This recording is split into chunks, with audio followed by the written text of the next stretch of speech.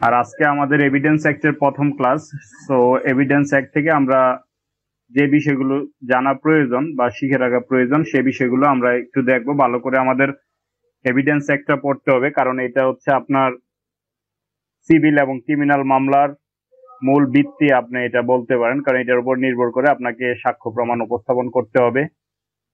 এবং হচ্ছে আপনার মামলার পরবর্তী যত রকমের সাক্ষ্য প্রমাণ আছে, মামলা নির্ভর করে কিন্তু সাক্ষ্য প্রমাণের উপরে। তো সেক্ষেত্রে এই সাক্ষ্য প্রমাণ যাতে আপনার ঠিক মতো আপনি সবকিছু করতে পারেন, সেজন্য আপনার হচ্ছে গিয়ে এই এভিডেন্স একটা আপনার জানা প্রয়োজন। তো এভিডেন্স অ্যাক্টের প্রথম ক্লাসে আমরা মূলত আজকে এভিডেন্স অ্যাক্ট সম্পর্কে ধারণা নেওয়ার চেষ্টা করব। এবং এই এভিডেন্স অ্যাক্টের ধারণার পাশাপাশি আমরা যে বিষয়টা দেখার চেষ্টা করব সেটা হচ্ছে আপনার এই এভিডেন্স অ্যাক্টের হিস্টোরিক্যাল ব্যাকগ্রাউন্ড একটু জানার চেষ্টা করব সংক্ষেপে এবং তার পাশাপাশি এভিডেন্স অ্যাক্টের স্ট্রাকচার জানার চেষ্টা করব। এভিডেন্স অ্যাক্ট আসলে কীভাবে সাজানো আছে, কোন কোন বিষয়গুলো আলোচনা করা আছে, আর কোন কোন বিষয়গুলো আপনাকে শিখতে হবে এভিডেন্স অ্যাক্ট থেকে। তারপরে আজকে আমরা এভিডেন্স অ্যাক্টের প্রথম কয়েকটা দ্বারা আমরা শিখার চেষ্টা করব যতগুলো আমাদের পক্ষে সম্ভব। কারণ এভিডেন্স অ্যাক্টের প্রত্যেকটা বিষয় আপনাকে একটু বিস্তারিত পড়ার চেষ্টা করতে হবে। যে কারণে আপনার পড়তে হয়তো একটু সময় লাগতে পারে। তবে যে জায়গাটা আমি হাইলাইট করে দিব, আমি গুরুত্বপূর্ণ বলব, বাসার মধ্যে অবশ্যই আপনি সেই জায়গাটা খুবই ভালোভাবে পড়ার চেষ্টা করবেন। আপনার কাছে মূল বেয়ারেক থাকলে সেটা সাথে রাখবেন। ওকে, একটু খেয়াল করেন, আমরা evidence act eighteen seventy two প্রথমত আমরা এটার হিস্ট্রিটা জানার চেষ্টা করব। সেক্ষেত্রে আপনি মনে রাখবেন যে সর্বপ্রথম এই সাক্ষ্য আইনের জাজ বা খস, খসড়া প্রস্তুত করা হয় কত সালে? সেটা হচ্ছে আপনার আঠারোশো আটষট্টি সালে সর্বপ্রথম এভিডেন্স অ্যাক্টের ডাচ বা খসড়া প্রস্তুত করা হয়। এবং এই এভিডেন্স অ্যাক্টের খসড়াটা কে প্রস্তুত করেন? সর্বপ্রথম তার নাম হচ্ছে স্যার হেনরি সামার মেইন অর্থাৎ স্যার হেনরি সামার মেইন সর্বপ্রথম আঠারোশো আটষট্টি সালে এভিডেন্স অ্যাক্টের প্রথম খসড়া প্রস্তুত করেন। সেক্ষেত্রে এই স্যার হেনরি সামার মেইন আঠারোশো সালে যে খসড়া প্রস্তুত করেন, এটা যদি আমি আপনাকে একটু বিস্তারিত বলার চেষ্টা করি, সেটা হচ্ছে ইন্ডিয়ান সাবকন্টিনেন্টে যখন ব্রিটিশরা শাসন করে এখানে, তখন আপনার, আমরা জানি যে ল কমিশন নামে একটা বিষয় ছিল। প্রথম ল কমিশন, দ্বিতীয় ল কমিশন, তৃতীয় ল কমিশন। তো যখন তৃতীয় ল কমিশন যখন হচ্ছে আপনার ইন্ডিয়াতে ছিল, তখন হচ্ছে আপনার আঠারোশো একষট্টি সালে, আঠারোশো একষট্টি সালে ওই তৃতীয় ল কমিশন সর্বপ্রথম আপনার হচ্ছে তারা এই সাক্ষ্য আইনের ড্রাফট প্রস্তুত করার জন্যে বা খসড়া তৈরি করার জন্যে আপনার হচ্ছে কিছু রিকমেন্ডেশন দেয় এবং হচ্ছে দায়িত্বটা কাকে দেওয়া হয়? এই হ্যান্ডি সামার মেনকে। কে দেয়? তৃতীয় ল কমিশন। তো তৃতীয় ল কমিশনের সুপারিশের ভিত্তিতে হ্যানরি মেন আঠারোশো আটষট্টি সালে এই সাক্ষ্য আইনের খসড়াটা খসড়া কি করেন? প্রস্তুত করেন। এবং এই যে হ্যানরি সামার মেন, তিনি যে সাক্ষ্য আইনের খসড়াটা প্রস্তুত করেন, এখানে আপনার হচ্ছে তার এই সাক্ষ্য আইনের খসড়ার মধ্যে বা ড্রাফটের মধ্যে এখানে চুটাল হচ্ছে আপনার থার্টি নাইন ক্লস ছিল, অর্থাৎ উনচল্লিশটা ক্লস ছিল। তো একটা আইন, একটা যখন আইন ড্রাফট করা হয়, তারপরে কিন্তু এটা একটা প্রসেসের বিষয় থাকে, একটা প্রক্রিয়ার বিষয় থাকে। যে প্রক্রিয়াটা সম্পূর্ণ হলেই পরবর্তীতে এটা আইনে কনভার্ট হবে। তো সেই ক্ষেত্রে আপনার, আপনাকে মনে রাখতে হবে যে যখন এই ড্রাফটটা প্রস্তুত করা হয়, এই ড্রাফটে সর্বমোট উনচল্লিশটা ক্লস ছিল এবং এই উনচল্লিশটা ক্লস যুক্ত এই ড্রাফট আইনে কনভার্ট করার জন্য, আইনে কনভার্ট করার জন্য সেটা লেজিসলেটিভ কাউন্সিলে উপস্থাপন করা হয় এবং এই লেজিসলেটিভ কাউন্সিলে যখন এই উনচল্লিশটি ক্লজ বিশিষ্ট এই ড্রাফট উত্থাপন করা হয়, তখন যারা সিলেকশন বোর্ডে ছিল সিলেকশন কমিটিতে ছিল যারা, যাদের মাধ্যমে এটা পাশ হওয়ার কথা ছিল, ওই তাদের এখানে এটা পাঠানো হয়। কিন্তু ওই সিলেকশন কমিটি সিলেকশন কমিটি তখন এটাকে আপনার কি করে? যে সিলেকশন কমিটি তখন এটাকে বলে যে, এই যে আইন যেটা হ্যান্ডি সামার মেন আঠারোশো আটষট্টি সালে আপনার হচ্ছে প্রস্তুত করেন, এটা হচ্ছে ভারতীয় উপমহাদেশের জন্য অনুপযোগী। অর্থাৎ এটা ভারতীয় উপমহাদেশের জন্য উপযোগী নয়। অর্থাৎ এটা যদি আইনে কনভার্ট করা হয়, তাহলে এটা ভারতে, ভারতীয় উপমহাদেশে এটা প্রয়োগ করা যাবে না। যার কারণে এটা আর ওই আপনার যেখান থেকে পাশ হওয়ার কথা ছিল, ওই খসড়া বিলটি আর পাশ হয়নি। যার কারণে সেটা আর আইনে কনভার্ট হয়নি। তারপরে কি করা হয়? তারপরে হচ্ছে আপনার এরপর হচ্ছে গিয়ে আঠারোশো একাত্তর সালে sir James fit James Stephen, ওনার নাম হচ্ছে sir James fit James Stephen, তো ওনাকে হচ্ছে নতুন আরেকটা খসড়া বিল প্রস্তুত করার দায়িত্ব দেওয়া হয়। এবং বলা হয়, আপনি এটা ভারতীয় উপমহাদেশের জন্য উপযোগী করে আপনি একটা খসড়া বিল প্রস্তুত করেন। তারপরে এটা আপনার হচ্ছে এই আঠারোশো একাত্তর সালে আপনার হচ্ছে sir James fit James Stephen এটা খসড়াটা প্রস্তুত করে এবং প্রস্তুত করার পরে এটা লেজিসলেটিভ কাউন্সিলে প্রেরণ করা হয় পাশের জন্য এবং এটা আঠারোশো বাহাত্তর সালের আপনার হচ্ছে পনেরোই মার্চ অর্থাৎ ফিফটিন মার্চ মানে আঠারোশো বাহাত্তর সালের পনেরোই মার্চ হচ্ছে এটা আপনার ব্রিটিশ ভারতের যে লেজিসলেটিভ কাউন্সিল আছে, সেখানে পাশ হয় এবং পাশ হওয়ার পরে এটা আঠারোশো বাহাত্তর সালের এক নম্বর আইন হিসেবে রেকর্ড করা হয় বা লিখা হয় বা হচ্ছে ওইখানে পাশ হয় আর কি। আপনার fifteen March eighteen seventy two তে আঠারোশো বাহাত্তর সালের পনেরোই মার্চ এটা এক নং আইন হিসেবে পাশ হয়। আর যেটা বর্তমানে আমাদের দেশে প্রচলিত আইন এটাই হচ্ছে আঠারোশো বাহাত্তর সালের এক নম্বর আইন। অর্থাৎ এই হচ্ছে আপনাদের এই আইনটা সম্পর্কে সংক্ষেপে আপনি হিস্ট্রিটা জেনে রাখবেন যে হেনরি সামার মেনকে যে দায়িত্বটা দেওয়া হয়, এটা তৃতীয় ল কমিশন তাকে এই দায়িত্বটা দেয় এবং আপনার এই হেনরি সামার মেইনের যে ড্রাফট সেই ড্রাফটে থার্টি নাইন অর্থাৎ উনচল্লিশটা ক্লস ছিল এবং যখন এটি আপনার হচ্ছে পাশের জন্য লেজিসলেটিভ কাউন্সিলে উপস্থাপন করা হয় তখন সিলেকশন বোর্ডে যারা ছিল সিলেকশন বোর্ডে তারা বলতেছে যে এই আইনটি হচ্ছে ভারতীয় উপমহাদেশের জন্য উপযোগী নয়, যার কারণে এটা আর পাশ হয়নি। তার পরবর্তীতে স্যার জেমস ফিট জেমস স্টেফেনকে দায়িত্ব দেওয়া হয় এবং sir James fit James Stephen উনিশশো সালে তিনি একটা খসড়া বিল ড্রাফট করেন এবং এই খসড়া বিলটা পরবর্তীতে আঠারোশো বাহাত্তর সালের ফিফটিন মার্চ, পনেরোই মার্চ, এটা লেজিসলেটিভ কাউন্সিলে পাশ হয়। এবং এটা আঠারোশো বাহাত্তর সালের এক নম্বর আইন হিসেবে পাশ হয়। মনে রাখবেন, একটা আইন পাশ হওয়া আর কার্যকর হওয়া দুইটা ভিন্ন বিষয়। পাশ হওয়ার বিষয়টা বলা থাকে, আপনি যখন বেয়ার একটা দেখবেন, তখন বেয়ার একটা দেখলে প্রথমে আইনের নামটা দেওয়া থাকে এভিডেন্স অ্যাক্ট তারপরে দেওয়া থাকে কত নম্বর আইন, তারপরে এই সাইডে লেখা থাকে কত তারিখে পাশ হয়, আর যখন এক নম্বর সেকশনে যাবেন, এক নম্বর সেকশনে গিয়ে নিচের দিকে লেখা থাকে short title extend and commencement অর্থাৎ আপনি আইনটা ভালো করে দেখলে এগুলো দেখতে পারবেন। তো সেক্ষেত্রে ফিফটিন মার্চ হচ্ছে এটা পাশ হয় আর পরবর্তীতে এটা কার্যকর হয় কবে সেটা আমরা নিচের দিকে দেখব। তাহলে আপনি একটা বিষয় ক্লিয়ার যে বর্তমানে প্রচলিত সাক্ষ্য আইন হচ্ছে আঠারোশো বাহাত্তর সালের এক নম্বর আইন, যেটা ফিফটিন মার্চ এইটিন সেভেন্টি তে পাশ হয়। তারপরে সাক্ষ্য আইন আঠারোশো বাহাত্তর সালে বর্তমান আইনের খসড়া তৈরি করেন কে? আরেকটু আগে আমি বলার চেষ্টা করছিলাম, sir James Fitzjames, Stephen, sir James Fitzjames Stephen, তার নাম হচ্ছে sir James fit James Stephen অথবা স্যার জেমস স্টেফেন। এই আইনটি পার্লামেন্টে পাশ হয় কবে? এই আইনটি পার্লামেন্টে পাশ হয় আঠারোশো বাহাত্তর সালের পনেরোই মার্চ। এক নং আইন হিসেবে এটা পাশ হয়।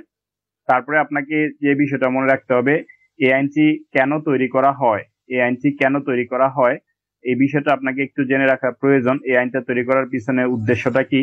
বলা হচ্ছে যে আপনার এই আইনটি পূর্বের আইনগুলো এই আইনের সাথে রিলেটেড অর্থাৎ এই আইনটি কেন পাশ করা হয়, তার মূল কারণ হচ্ছে, বলা হচ্ছে যে আপনার পূর্বের যে আইনগুলো আছে, পূর্বের আইন যেগুলো আছে, ওই আইনগুলোর সাথে সামঞ্জস্য রেখে ওই পূর্বের আইন কোনগুলো ছিল? আমরা জানি যে আঠারোশো বাহাত্তর সালের এই আইন পাশ হওয়ার পূর্বে বা Henry Sumner Maine Henry Sumner Maine আঠারোশো আটষট্টি সালে এই এভিডেন্স অ্যাক্টে ড্রাফট করার পূর্বে আপনার হচ্ছে ভারতীয় উপমহাদেশে যে আমাদের যে রিলিজিয়াস যে আইনগুলো আছে সেগুলো মূলত বিদ্যমান ছিল। মুসলমানদের জন্য, মুসলিম আইন, হিন্দুদের জন্য, হিন্দুদের আইন। সেই আইন অনুযায়ী হচ্ছে সাক্ষ্য প্রমাণ গ্রহণ করা হতো। তো বলা হচ্ছে যে ওই যে আইনগুলো, ধর্মীয় যে আইনগুলো ছিল, সেই আইনগুলো এবং হচ্ছে আপনার পূর্বের যতগুলো আইন ছিল, ওই আইনগুলোর মধ্যে যেগুলো হচ্ছে আপনার রেলিভেন্ট সাক্ষ্য হিসেবে রেলিভেন্ট বা প্রাসঙ্গিক সেগুলোকে একত্রীকরণ, সংজ্ঞাদান এবং হচ্ছে আপনার সংশোধন করা সমীচীন হয়ে পড়ে বা যুক্তিযুক্ত হয়ে পড়ে, যার কারণে বর্তমানে আইনটি তৈরি করা হয়। আপনি যদি আইনটার শুরুতে দেখেন যে এটা হচ্ছে কনসলিডেটেড অ্যামেন্ডেড এবং হচ্ছে আপনার মানে ডিফাইন অ্যামেন্ড অ্যান্ড কনসলিডেটেড এই তিনটা কারণে মূলত হচ্ছে আপনার এই evidence act eighteen seventy two তৈরি করা হয়। তারপরে আপনি এভিডেন্স অ্যাক্ট থেকে যে বিষয়টা জেনে রাখা প্রয়োজন, সেক্ষেত্রে এই এভিডেন্স অ্যাক্টে মোট পার্ট বা অংশ বা ভাগ আছে কতটি? সেক্ষেত্রে মনে রাখতে হবে এভিডেন্স অ্যাক্টটি মূলত তিন ভাগে বিভক্ত। তিন ভাগ কি কি? আপনার হচ্ছে একটা হচ্ছে রেলিভেন্সি অফ ফ্যাক্ট প্রথম যে ভাগ, প্রথম যে পার্ট রেলিভেন্সি অফ ফ্যাক্ট এটা হচ্ছে একটা মূল পার্ট তারপরে হচ্ছে আপনার অন প্রুফ অন প্রুফ এটা হচ্ছে তারপরে দ্বিতীয় অংশের পার্ট এবং হচ্ছে আপনার এই production and effect of documents এটা হচ্ছে তিন নম্বর অংশের পার্ট অর্থাৎ এই তিনটা পার্টে মূলত এভিডেন্স অ্যাক্ট বিভক্ত। তবে মনে রাখবেন পার্ট আর চ্যাপ্টার কিন্তু আলাদা আলাদা। সেক্ষেত্রে পার্ট আছে তিনটা।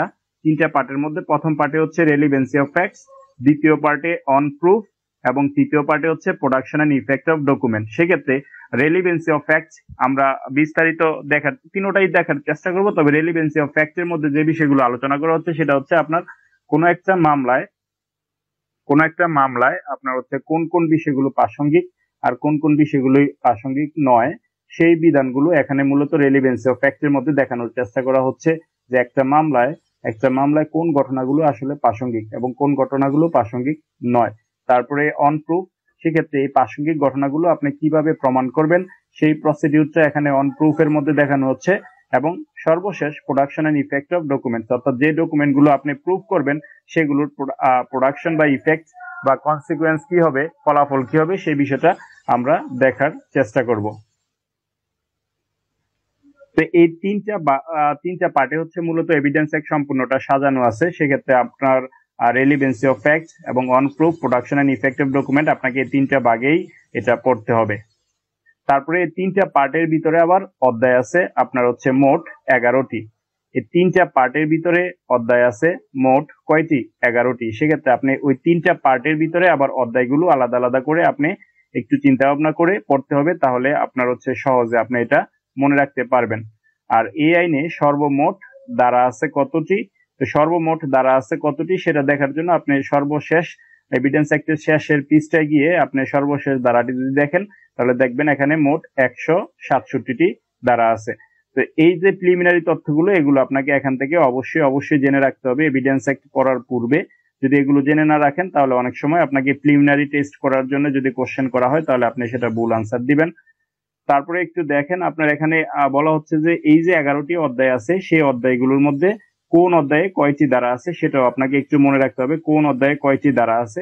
তো এখানে বলা হচ্ছে যে আপনার এভিডেন্স অ্যাক্টের মোট অধ্যায় আছে এগারোটি এগারোটি অধ্যায় প্রথম অধ্যায় আছে চারটি দ্বারা, দ্বিতীয় অধ্যায় আছে অর্থাৎ রেলিভেন্সি অফ ফ্যাক্টস এর মধ্যে আছে একান্নটি দ্বারা, খেয়াল করেন, একান্নটি দ্বারা।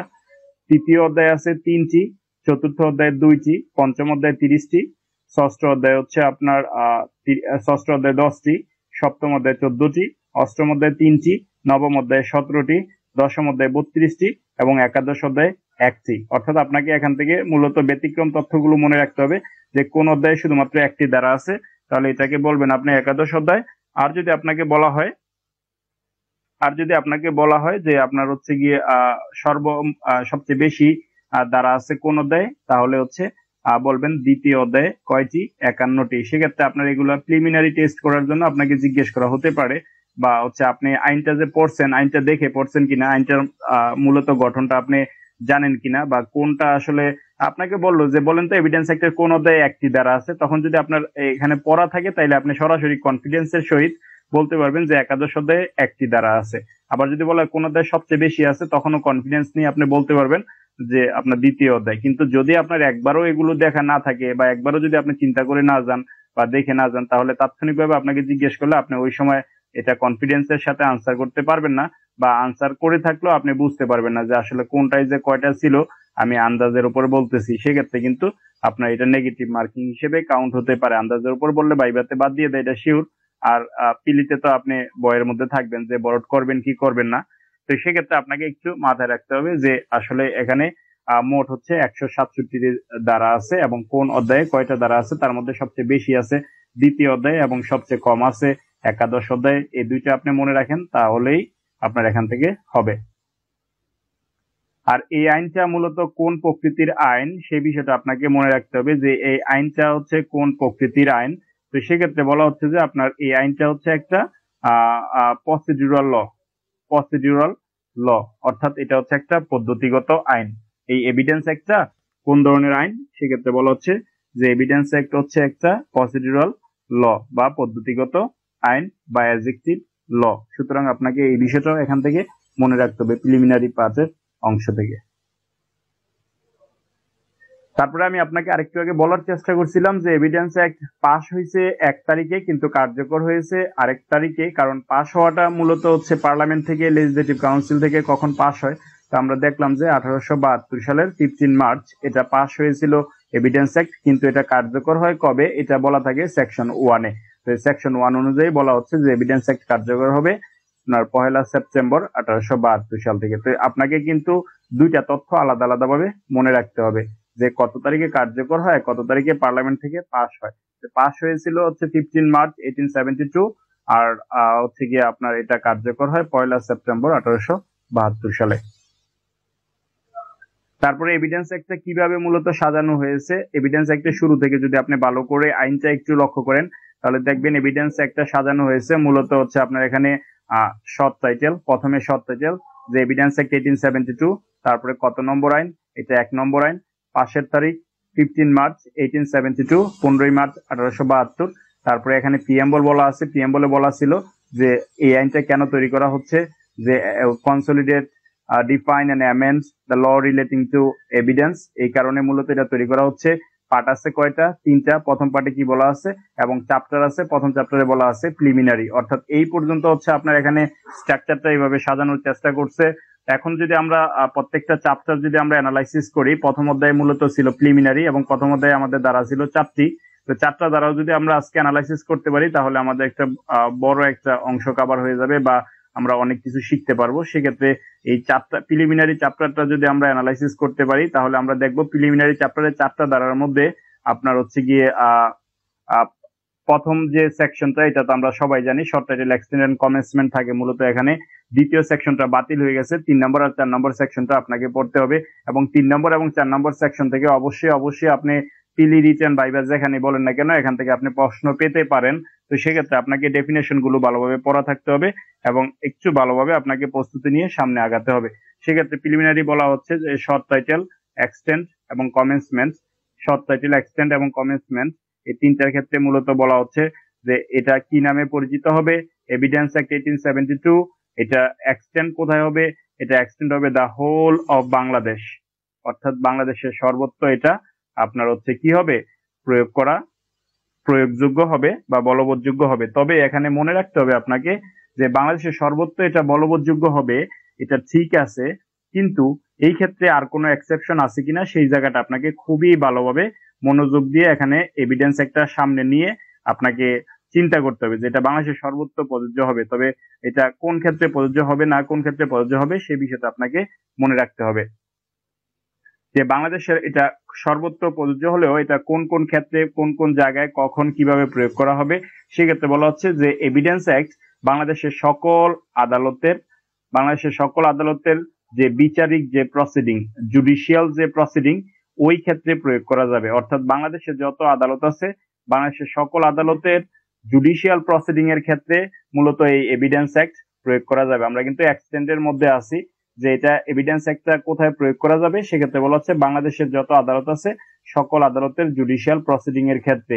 তবে এখানে কিছু এক্সেপশন দেওয়া আছে, সেই এক্সেপশনগুলো আপনাকে একটু ভালোভাবে মনোযোগ দিয়ে দেখতে হবে। বলা হচ্ছে কোর্ট মার্শালের ক্ষেত্রে এভিডেন্স একটা প্রয়োগ করতে পারবেন কিনা? তো সেই ক্ষেত্রে বলা হচ্ছে যে হ্যাঁ কোর্ট মার্শালের ক্ষেত্রেও আপনি এভিডেন্স একটা প্রয়োগ করতে পারবেন, তবে শর্ত সাপেক্ষে, ব্যতিক্রম সাপেক্ষে। ব্যতিক্রম সাপেক্ষে আপনি কোর্ট মার্শালের ক্ষেত্রে আপনি এভিডেন্স একটা প্রয়োগ করতে পারবেন। এখন ব্যতিক্রমগুলো কি কি সেই বিষয়টা আপনাকে খুবই ভালোভাবে মনোযোগ দিয়ে মনে শিখার চেষ্টা করতে হবে। ব্যতিক্রমগুলো হচ্ছে আপনার যে কোর্ট মার্শালগুলো অর্থাৎ কোর্ট মার্শালের ক্ষেত্রে এভিডেন্স অ্যাক্ট প্রয়োগ হবে, তবে ব্যতিক্রমগুলো হচ্ছে যে কোর্ট মার্শালগুলো মূলত army act nineteen fifty two, naval discipline ordinance nineteen sixty one এবং হচ্ছে আপনার air force act nineteen fifty three. অর্থাৎ এই যে আপনার আর্মি অ্যাক্ট এবং হচ্ছে আপনার নেভাল ডিসিপ্লিন অর্ডিন্যান্স এবং হচ্ছে এই নেভাল ডিসিপ্লিন অর্ডিন্যান্সের সাথে আরেকটা আছে কি? আপনার এয়ারফোর্স অ্যাক্ট অর্থাৎ এই তিনটা আইনের অধীনে যদি কোনো কোর্ট মার্শাল হয়ে থাকে, কোনো কোর্ট মার্শাল হয়ে থাকে, তাহলে আপনি তাদের ক্ষেত্রে এই এভিডেন্স অ্যাক্টের বিধান প্রয়োগ করতে পারবেন না। কারণ তাদের জন্য আলাদা আলাদা করে তাদের আপনার হচ্ছে গিয়ে এই মামলার বিচার করার সবকিছু বলা আছে। তো সেক্ষেত্রে army act naval discipline ordinance এবং এয়ারফোর্স অ্যাক্ট এগুলো আপনার হচ্ছে আলাদা আলাদা আপনি মনে রাখতে হবে যে এই তিনটে আইনের ক্ষেত্রে যদি কোর্ট মার্শালে বিচার হয় তাহলে এভিডেন্স অ্যাক্ট প্রয়োগ করা যাবে না। কারণ তাদের এই কোর্ট মার্শালের জন্য আলাদা আলাদা করে তাদের এই আইনেই এভিডেন্স গ্রহণের কথা বলা আছে। সুতরাং এই আর্মি অ্যাক্ট দেখলে ওই আইনেই বলা আছে যে কোন এভিডেন্স গ্রহণযোগ্য হবে না হবে। নেভাল ডিসিপ্লিন অর্ডিন্যান্স দেখলে ওইখানে বলা আছে এবং এয়ারফোর্স অ্যাক্ট যদি আপনি দেখেন তাহলে সেখানে বিমান বাহিনীদের জন্য যে আইন সেখানেও বলা আছে যে হ্যাঁ। আচ্ছা তারপরে একটু খেয়াল করেন যে আপনার হচ্ছে এই তিনটা আইন এগুলাকে আপনি সংক্ষেপে মনে রাখার জন্য, আপনার হচ্ছে এখানে সংক্ষেপে মনে রাখার জন্য আপনি এই বিনো শব্দটি বিনশে দিয়ে মনে রাখতে পারেন। বিমান বাহিনী, নৌবাহিনী এবং সেনাবাহিনী। সেক্ষেত্রে লাস্টে তিপ্পান্ন, খেয়াল করেন, তিপ্পান্ন আর হচ্ছে বাহান্ন। অর্থাৎ লাস্টে যাবে বাউন্ন আর শুরুতে আসবে তিপ্পান্ন, মাঝখানে একষট্টি। তার মানে বিমান বাহিনীটা হচ্ছে তিপ্পান্ন, নৌবাহিনীটা হচ্ছে একষট্টি এবং সেনাবাহিনীটা হচ্ছে বাউন্ন অর্থাৎ এই তিনটা আপনাকে মনে রাখতে হবে। মানে এই আইনগুলো সংক্ষেপে মনে রাখার জন্য আপনি চাইলে এভাবে মনে রাখতে পারেন অথবা আপনার ওই আইনে তিনটা মুখস্থ করে ফেলতে পারেন, তাহলে আর কোনো সমস্যা হবে না। তো এই ক্ষেত্রে মনে রাখবেন, যদি এই তিনটা আইনের অধীনে কোনো বিচার কার্য পরিচালনা করা হয়, কোনো জুডিশিয়াল প্রসিডিং হয়, তাহলেও কিন্তু evidence act eighteen seventy two প্রয়োগ হবে না। প্রয়োগ হবে না। কিন্তু অন্যান্য কোর্ট মার্শালের ক্ষেত্রে evidence act eighteen seventy two প্রয়োগ করা যাবে। তারপরে আপনাকে যে বিষয়টা মনে রাখতে হবে যে এখানে এই এই যে আমরা কিন্তু এখনও পর্যন্ত এক্সটেন্টে আছি এক্সটেন্ট শব্দটা বা এক্সটেন্ডেড যে বিষয়টা সেটা আমরা দেখার চেষ্টা করতেছি। এখানে কোর্ট বা অফিসারের নিকট যদি আপনি কখনো এফিডেভিট প্রেজেন্ট করে থাকেন এফিডেভিট প্রেজেন্ট করে থাকেন, তাহলে evidence act eighteen seventy two আপনি প্রয়োগ করতে পারবেন অর্থাৎ কোর্টের ক্ষেত্রে আমরা দেখলাম, কোর্টের বিচারের ক্ষেত্রে আমরা এভিডেন্স অ্যাক্ট করতে পারব। কিন্তু বলা হচ্ছে কখনো যদি আদালতের কাছে অথবা আদালতের অফিসারের কাছে যদি আপনি অ্যাফিডেভিটের মাধ্যমে কোনো কিছু উপস্থাপন করার চেষ্টা করেন বা করে থাকেন, ওই ক্ষেত্রে কিন্তু আপনি এভিডেন্স অ্যাক্টের বিধান বলে প্রয়োগ করতে পারবেন না।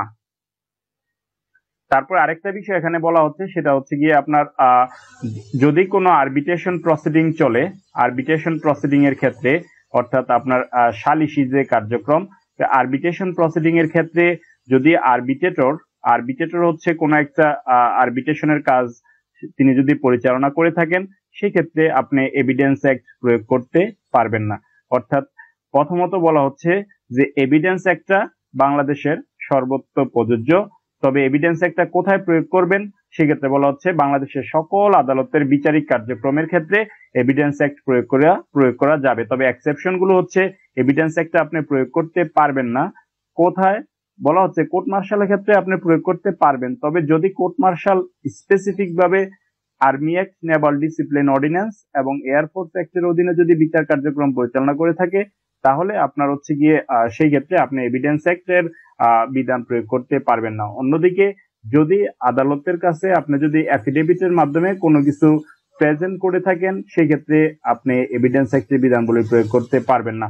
আরেকটা বিষয় বলা হচ্ছে, যদি আপনি আরবিট্রেটর হিসেবে কেউ দায়িত্ব পালন করে থাকে আরবিট্রেশন প্রসিডিং সম্পূর্ণ করার জন্য আরবিট্রেটর হিসেবে যদি কেউ দায়িত্ব পালন করে থাকে, তাহলে ওই আরবিট্রেশন প্রসিডিং সম্পূর্ণ করার ক্ষেত্রে আপনি এভিডেন্স অ্যাক্টের বিধানগুলি প্রয়োগ করতে পারবেন না। অর্থাৎ কোন কোন ক্ষেত্রে প্রয়োগ করতে পারবেন না, এই বিষয়টা স্পেসিফিক ভাবে আপনি মনে রাখার চেষ্টা করবেন। কারণ এখান থেকে আপনাকে বলা হতে পারে যে কোন ক্ষেত্রে প্রয়োগ হবে বা কোন ক্ষেত্রে প্রয়োগ হবে না, সেটা আপনার ক্লিয়ার ধারণা আছে কিনা।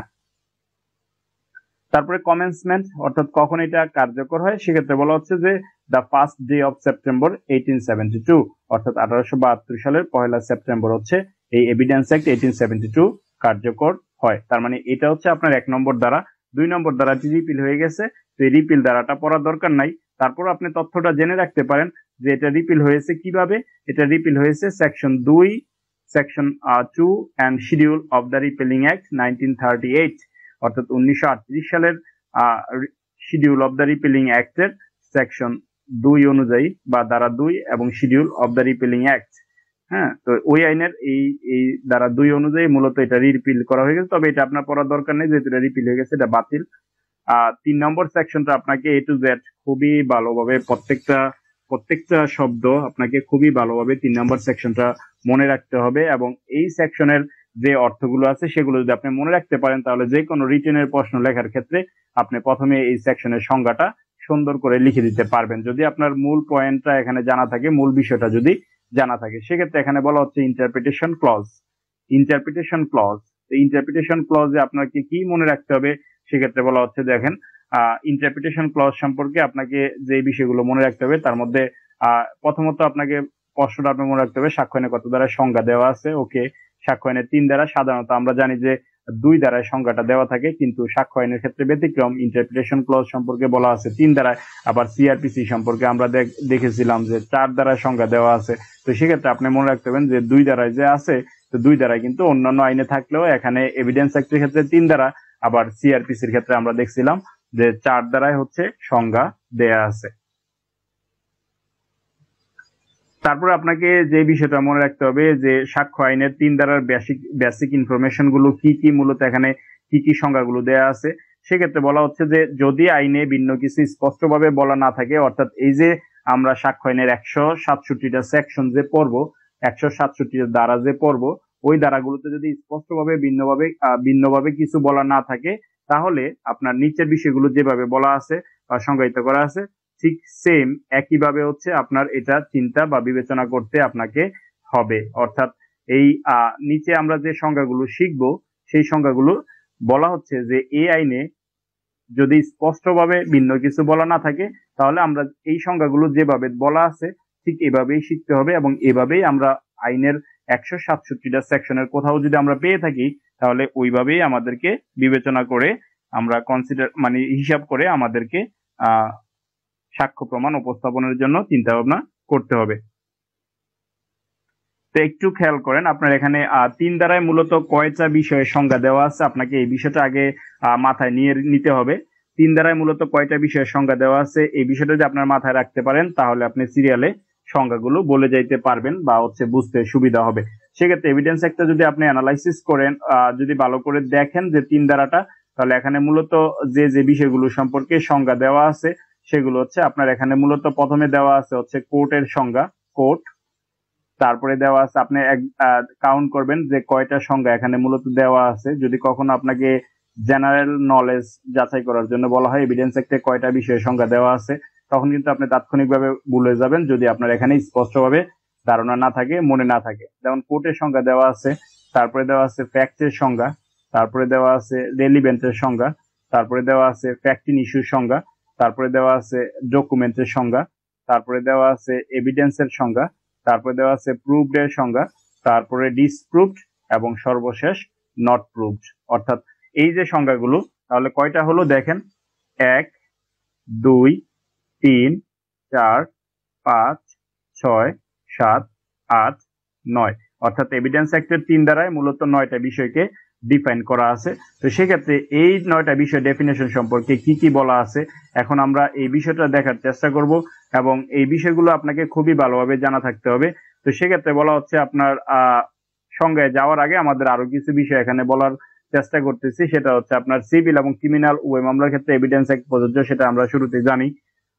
তারপরে হচ্ছে আপনার এখানে দেখেন যে সেকশন ওয়ানে আমরা যে দেখার চেষ্টা করলাম সেকশন ওয়ানে আমরা যে দেখার চেষ্টা করলাম, আপনার হচ্ছে যে অল জুডিশিয়াল প্রসিডিং এর ক্ষেত্রে মূলত হচ্ছে এই evidence act eighteen seventy two apply হবে এখন এই অল জুডিশিয়াল প্রসিডিং এই জুডিশিয়াল প্রসিডিংটা কিন্তু আপনার হচ্ছে সেকশন তিনে ডিফাইন করা হয়নি। খেয়াল করেন, আপনার এখানে আমরা যতগুলো সংজ্ঞা দেখার চেষ্টা করলাম এতক্ষণ, এখানে কিন্তু জুডিশিয়াল প্রসিডিংটা ডিফাইন করা হয়নি। যদিও এভিডেন্স অ্যাক্টের আপনার হচ্ছে গিয়ে এই এক দ্বারাই বলা হচ্ছে যে জুডিশিয়াল প্রসিডিং এর ক্ষেত্রে মূলত এভিডেন্স একটা প্রয়োগ করা হবে। কিন্তু এই জুডিশিয়াল প্রসিডিংটা আবার এখানে ডেফিনেশন দেওয়া হয়নি, তিন ধারার মধ্যে। তো তিন ধারার মধ্যে আপনার হচ্ছে কোর্টে ডেফিনেশন দেওয়া আছে বাট জুডিশিয়াল প্রসিডিং এর ডেফিনেশনটা দেয়া নাই। তো সেক্ষেত্রে আপনাকে চিন্তা করতে হবে, তাহলে এই জুডিশিয়াল প্রসিডিং বলতে কি বোঝায়? আমরা যখন সিআরপিসি পড়ে আসছিলাম, ওই সিআরপিসি তে আমরা জুডিশিয়াল প্রসিডিং এর সংজ্ঞাটা মূলত দেখার চেষ্টা করছিলাম। সিআরপিসির সেকশন ফোর এর একের এম এ মূলত হচ্ছে এই জুডিশিয়াল প্রসিডিং বলতে আপনি কি বুঝেন, সেই বিষয়টা ডিফাইন করা আছে। এখানে আমরা এভিডেন্স অ্যাক্টে যেহেতু জুডিশিয়াল প্রসিডিং এর ক্ষেত্রে প্রয়োগ হয়, তো সেক্ষেত্রে জুডিশিয়াল প্রসিডিং বলতে আমরা কি বুঝে, সে বিষয়টা আমরা এখন দেখার চেষ্টা করব। বলা হচ্ছে যখন কোন প্রসিডিং চলাকালে ওর্থ গ্রহণের মাধ্যমে evidence is or may legally taken তাহলে সেটা হবে জুডিশিয়াল প্রসিডিং অর্থাৎ এখানে বলা হচ্ছে যে যখন কোন একটা প্রসিডিং চলাকালীন সময়ে, যখন কোন একটা বিচার চলাকালীন সময়ে কোনো ব্যক্তি লিগালি লিগালি কম্পিটেন্ট হয়, কেন এভিডেন্স নেওয়ার জন্য বা এভিডেন্স নিতে পারে সেটা হবে জুডিশিয়াল প্রসিডিং এবং এই ব্যক্তি কীভাবে কম্পিটেন্ট হবে ওথ গ্রহণের মাধ্যমে, অর্থাৎ শপথ গ্রহণের মাধ্যমে, যদি কোনো ব্যক্তি শপথ গ্রহণের মাধ্যমে হচ্ছে আমরা এভিডেন্স গ্রহণ করার বা হচ্ছে আপনার লিগালি আইনগতভাবে গ্রহণ করার অথবা নেয়ার যদি কম্পিটেন্ট হয়ে থাকে তাহলে ওইটা হবে জুডিশিয়াল প্রসিডিং অর্থাৎ জুডিশিয়াল প্রসিডিং এ মূলত কোন একজন ব্যক্তি শপথ গ্রহণের মাধ্যমে কি করতে পারে? সাক্ষ্য দিতে পারে। তারপরে আমরা এই জুডিশিয়াল প্রসিডিংটা মূলত এখান থেকে শিখে আসলাম। হচ্ছে গিয়ে আপনার যে প্রসিডিং এর ক্ষেত্রে শপথ গ্রহণের মাধ্যমে সাক্ষ্য গ্রহণ করা যায়, সেটা হচ্ছে জুডিশিয়াল প্রসিডিং এটা ডিফাইন করা আছে সিআরপিসির আঠারোশো আটানব্বই এর একের এম এ। আর অন্যদিকে আপনি খেয়াল করবেন যে এই লিমিট হচ্ছে গিয়ে এভিডেন্স অ্যাক্টের সেকশন থ্রিতে কোর্টের সংজ্ঞা দেওয়া আছে শুরুতে।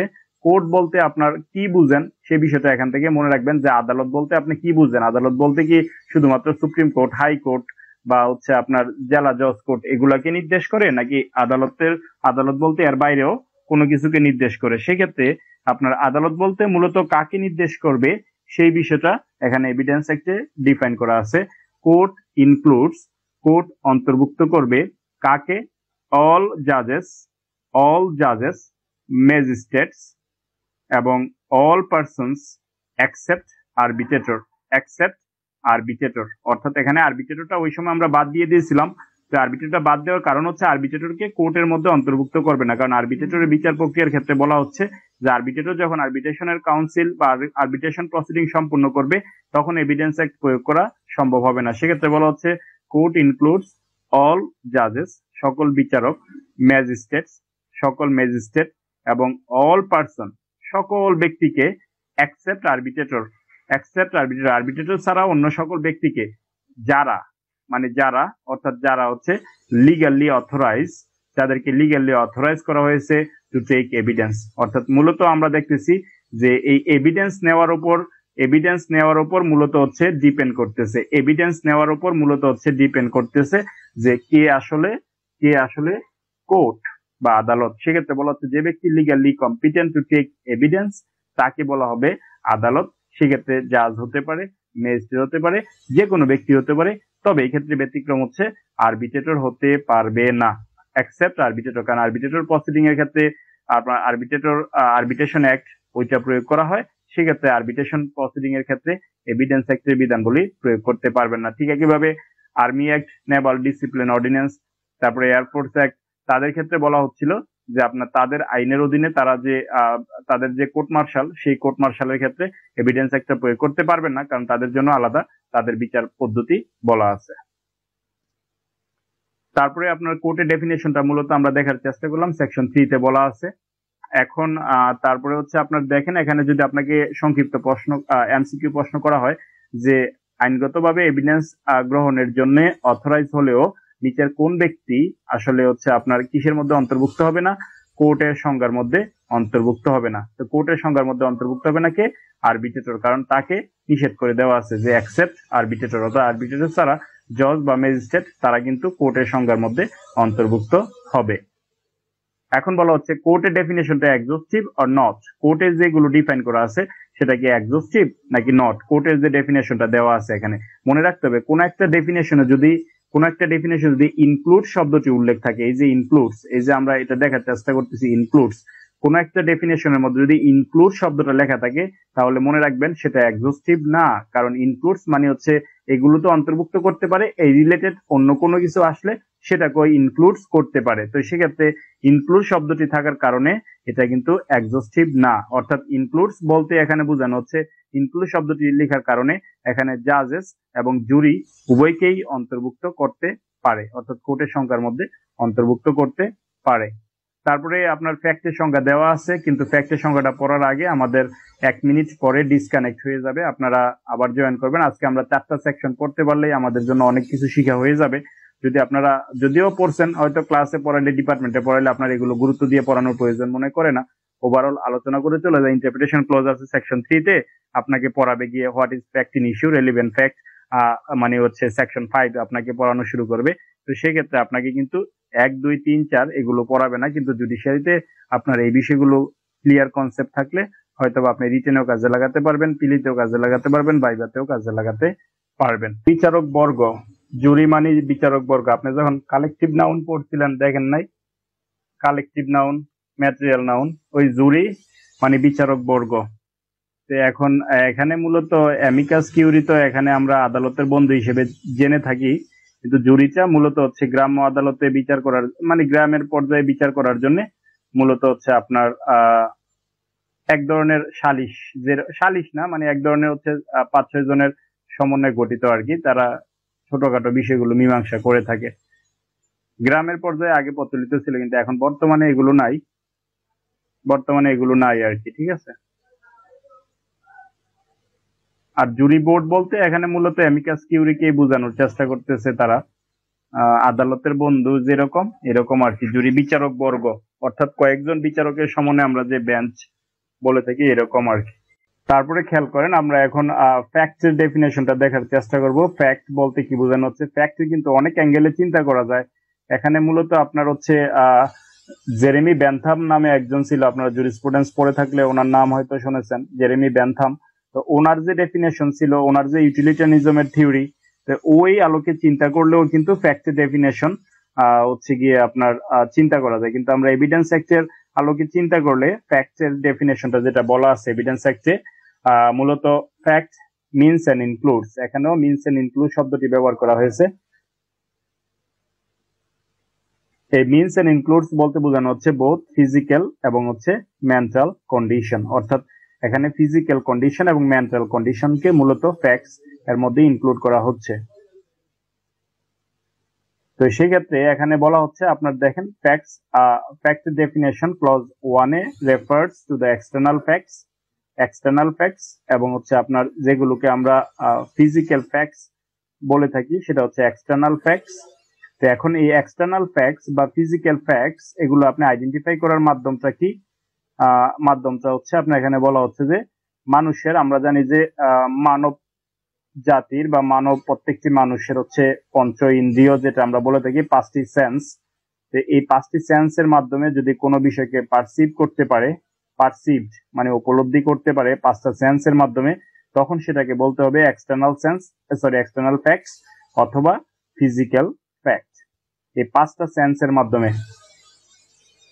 তো এখন এই ফ্যাক্টের ডেফিনেশনের মাধ্যমে যে ফ্যাক্টের ডেফিনেশনের মধ্যে যে ইলাস্ট্রেশনগুলো দেওয়া আছে, অর্থাৎ facts includes includes both physical এবং মেন্টাল কন্ডিশন তো সেক্ষেত্রে এই ফিজিক্যাল ফ্যাক্ট কোনগুলো বা এক্সটার্নাল ফ্যাক্টস কোনগুলো, সেগুলো হচ্ছে মূলত মানুষের যে পাঁচটা ইন্দ্রিয় আছে, সে পঞ্চ ইন্দ্রিয় দিয়ে যদি আপনি পঞ্চ ইন্দ্রিয় দিয়ে দিয়ে যদি আপনি হচ্ছে চিন্তা করতে পারেন, তো সেক্ষেত্রে ওইটা হবে ফিজিক্যাল ফ্যাক্ট এবং এই ক্ষেত্রে বলা হচ্ছে যে ফিজিক্যাল ফ্যাক্টের ভিতরে কভার করবে হচ্ছে ইলাস্ট্রেশন এ বি এবং সি এই তিনটা হচ্ছে ফিজিক্যাল ফ্যাক্ট অর্থাৎ এই তিনটার ক্ষেত্রে মনে রাখতে হবে আপনাকে যে মানুষের যে পঞ্চ ইন্দ্রিয় পাঁচটা সেন্স সেই সেন্সের যে কোনো একটা প্রয়োগ করলে এই ইলাস্ট্রেশন এ বি সি এর বিষয়টা আপনি উপলব্ধি করতে পারবেন বা পারসিভ করতে পারবেন।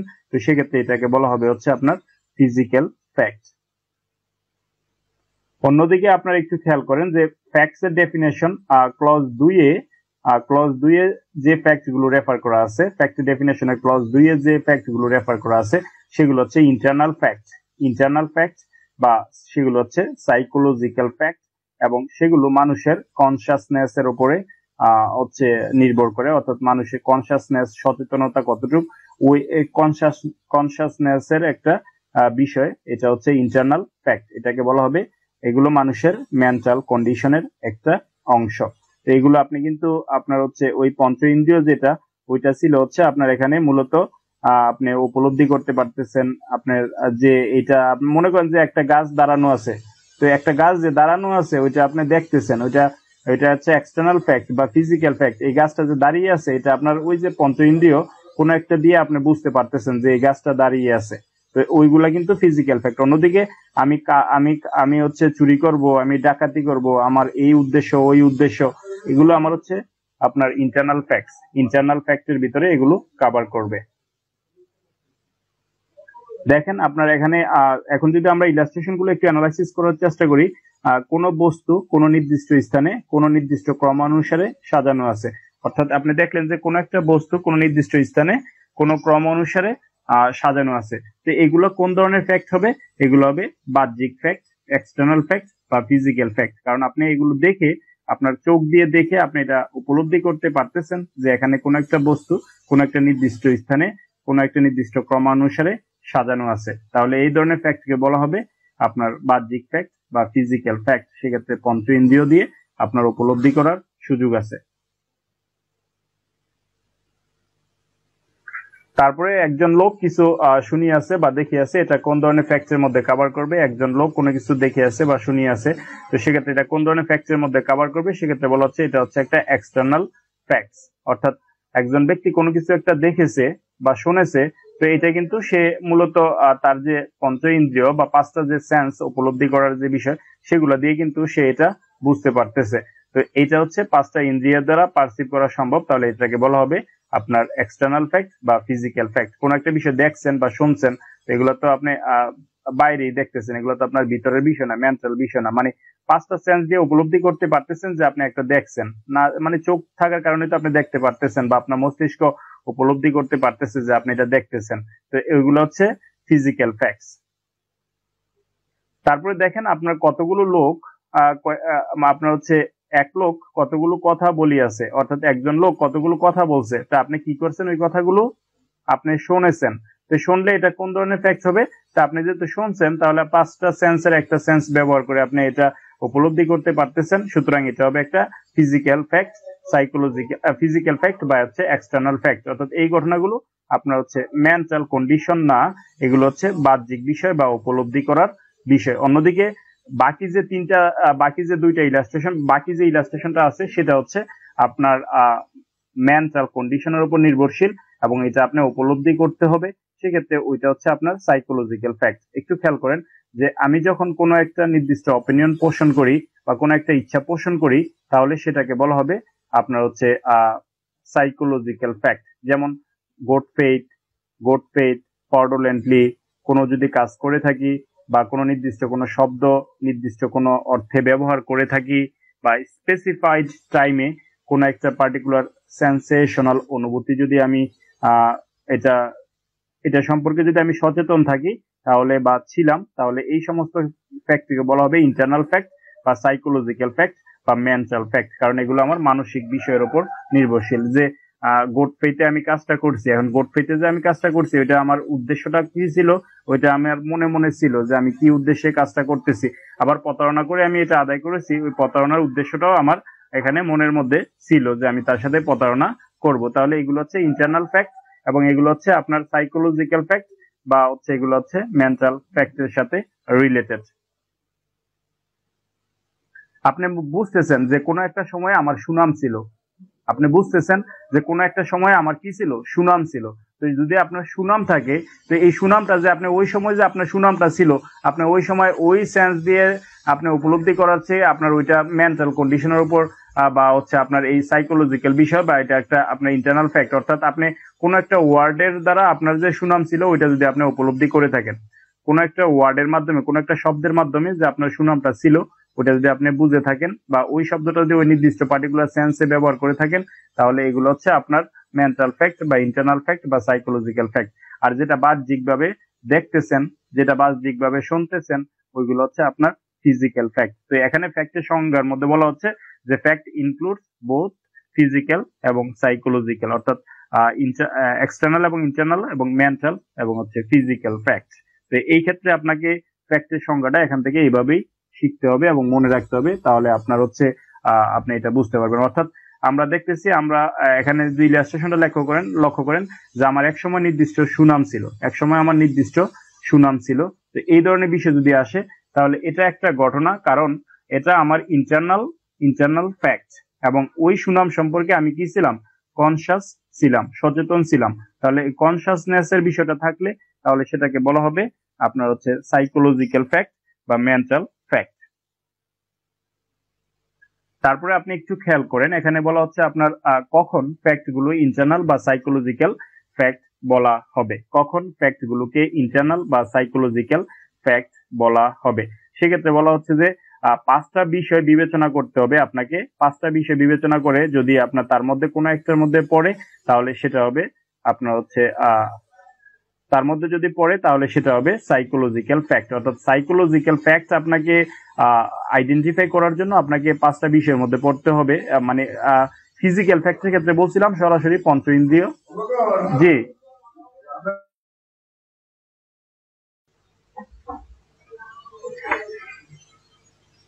আচ্ছা একটু খেয়াল করেন, আপনার হচ্ছে যখন আমি ফিজিক্যাল ফ্যাক্টের কথা বললাম, তখনও কিন্তু আপনাকে বলছি যে পাঁচটা বিষয়ের উপরেই আপনাকে কি করতে হবে?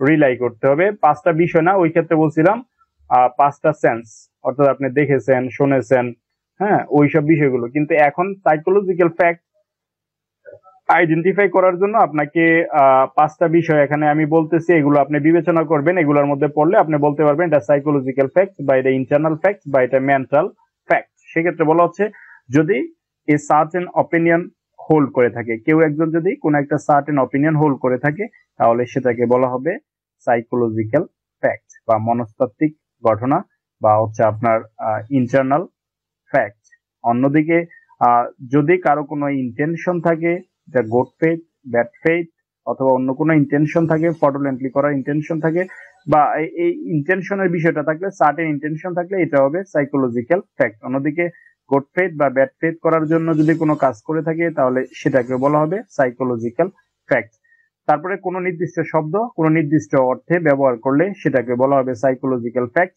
লাস্টে কোনো পার্টিকুলার সেন্সেশনাল অনুভূতি সম্পর্কে কোনো নির্দিষ্ট সময় যদি আপনি কনসাস থাকেন, তাহলে যে ওইটা আগে ছিল বা আছে, যদি এরকমও হয় কনসাস ছিলেন বা আছেন বা এটা এখনও আছে, তাহলে সেটাকে বলা হবে সাইকোলজিক্যাল ফ্যাক্ট অর্থাৎ এই ক্রাইটেরিয়া গুলো যদি কোনো একটা ফিল আপ করে, তাহলে সেটা হবে সাইকোলজিক্যাল ফ্যাক্ট অন্যদিকে বাইরে একটা গাছ অন্যদিকে আপনি দেখতেছেন একটা গাছ দাঁড়ানো আছে, একটা বই, বইয়ের তাকের মধ্যে বইগুলো সাজানো আছে, একজনে কথা বলতেছে, আপনি শুনতেছেন। ওইগুলো হচ্ছে বাহ্যিক ফ্যাক্ট বা এক্সটার্নাল ফ্যাক্ট বা হচ্ছে ফিজিক্যাল ফ্যাক্ট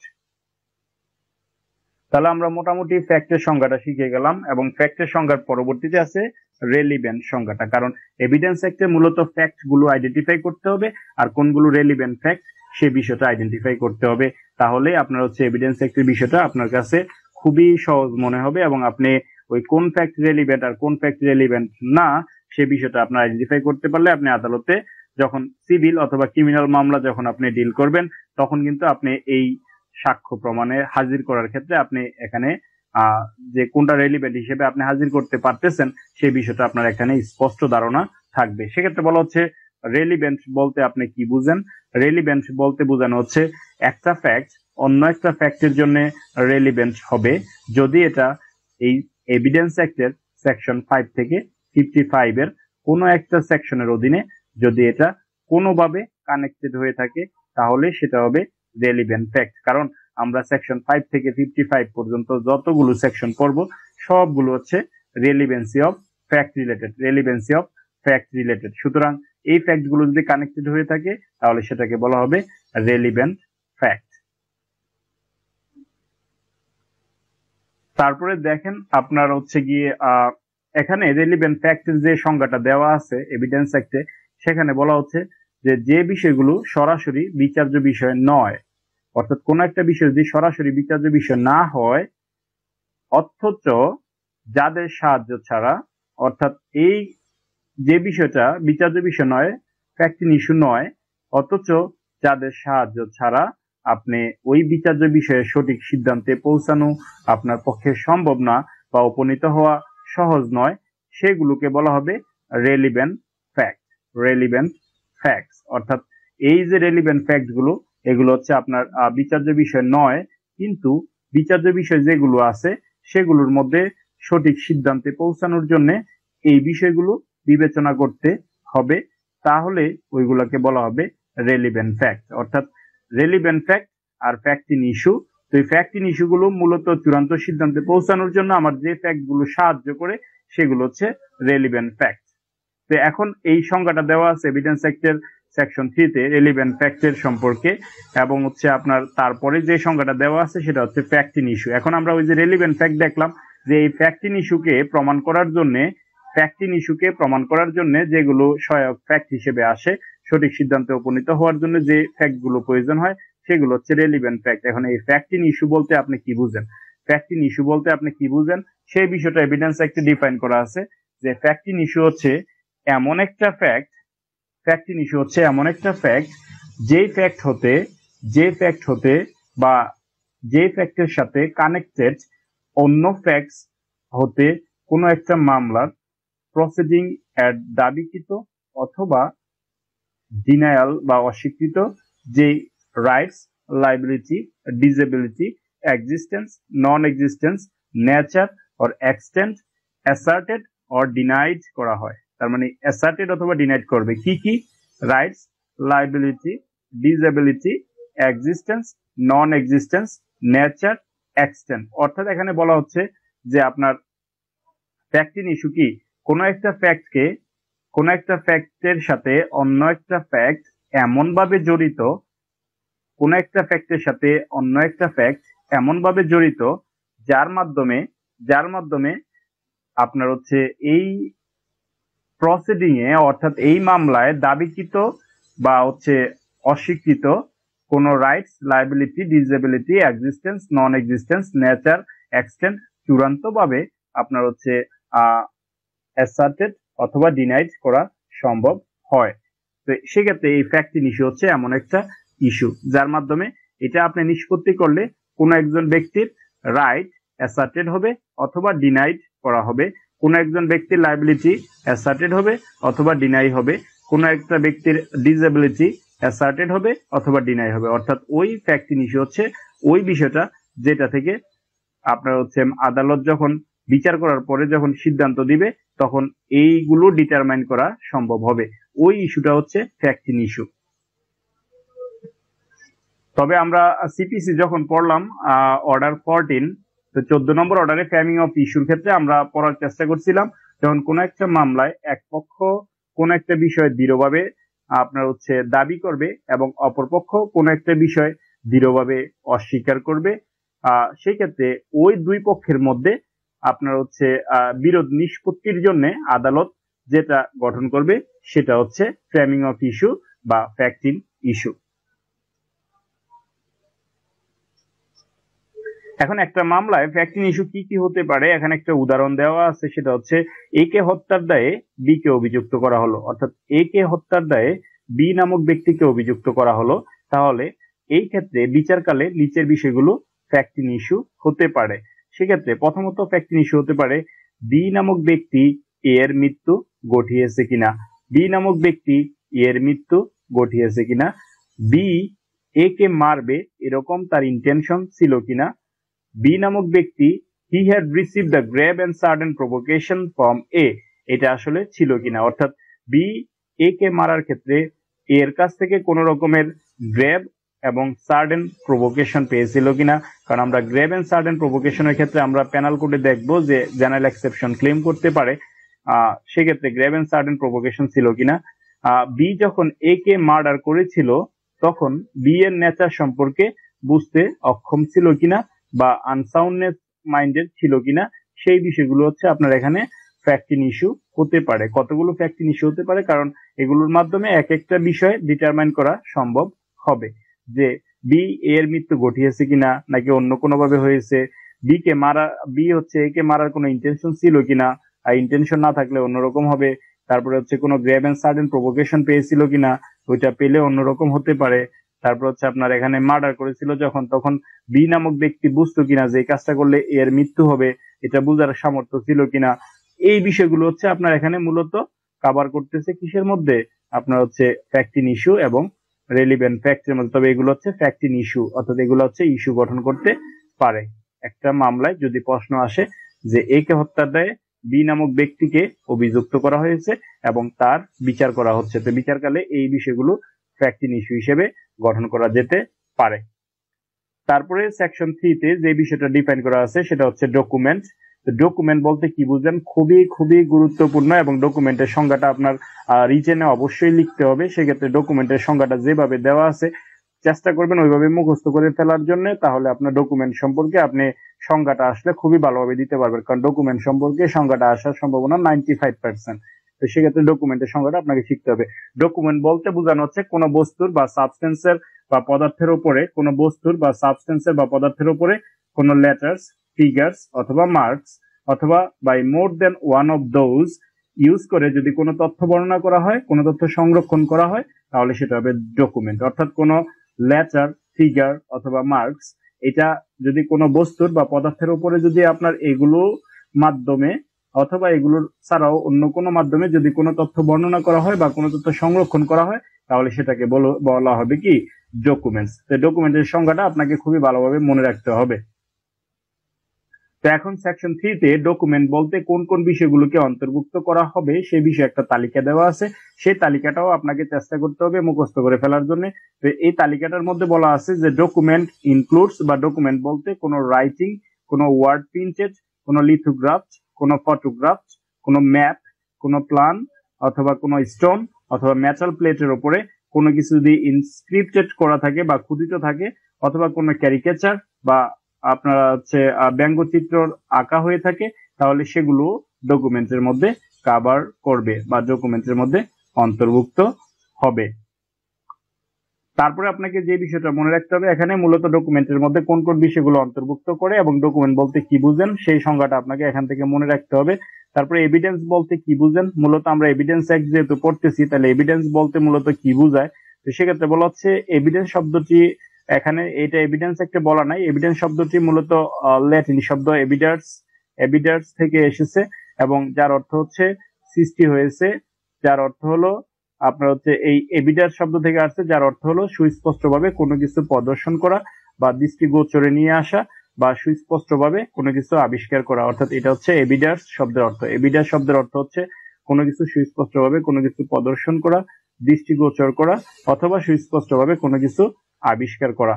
তো সেই ক্ষেত্রে আপনাকে মনে রাখতে হবে যে এই এভিডেন্স শব্দটা যেটা বলা আছে, তো এগুলো হচ্ছে আপনার এভিডেন্সের মধ্যে হচ্ছে এভিডেন্স এর মধ্যে কাভার করতেছে। তাহলে এভিডেন্স হবে এরকমই একটা কোনো কিছু, যার মাধ্যমে কোনো একটা বিষয় আপনি সুস্পষ্টভাবে প্রদর্শন করার চেষ্টা করবেন, দৃষ্টিগোচরে নিয়ে আসার চেষ্টা করবেন, সূক্ষ্মভাবে সেটা আবিষ্কার করার চেষ্টা করবেন এবং সাক্ষ্য আইনের তিন দ্বারায় যে এভিডেন্স অ্যাক্টের যে সংজ্ঞা দেওয়া আছে, সেখানে বলা হচ্ছে এভিডেন্স অ্যাক্ট দুই ধরনের এভিডেন্সের কথা বলা হচ্ছে। একটা হচ্ছে ওরাল এভিডেন্স একটা হচ্ছে ডকুমেন্টারি এভিডেন্স ওরাল এভিডেন্স একটা হচ্ছে ডকুমেন্টারি এভিডেন্স তো সেক্ষেত্রে আপনাকে মনে রাখতে হবে যে এই এভিডেন্স অ্যাক্টের সেকশন থ্রি অনুযায়ী ওরাল এভিডেন্স এবং ডকুমেন্টারি এভিডেন্স কে কভার করতেছে এবং এই ওরাল এভিডেন্স হতে পারে আবার অরিজিনাল বা primary oral evidence secondary oral evidence অন্যদিকে ডকুমেন্টারি এভিডেন্স হতে পারে প্রাইমারি বা অরিজিনাল বা হচ্ছে ডকুমেন্টারি এভিডেন্স অন্যদিকে সেকেন্ডারি ডকুমেন্টারি এভিডেন্স তবে আপনাকে মনে রাখতে হবে ডকুমেন্টারি এভিডেন্স লেখুক আর প্রাইমারি বা ওরাল এভিডেন্স লেখুক না কেন ডকুমেন্টারি ক্ষেত্রে অবশ্যই ডকুমেন্টের সংখ্যাটা লিখতে দিবে। আর ওরাল এভিডেন্স এর ক্ষেত্রে আপনাকে কোনগুলো ওরাল এভিডেন্স বা প্রাইমারি এভিডেন্স সেগুলো হয়তো আপনাকে বলতে পারে, সেগুলো আমরা পরবর্তীতে নিচের দিকে দেখার চেষ্টা করব বিস্তারিত।